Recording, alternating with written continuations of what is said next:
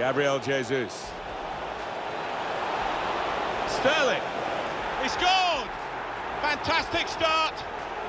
Really quick off the blocks here. And they've given themselves a terrific boost for what lies ahead. The goal from Sterling, and he's just decided to hit this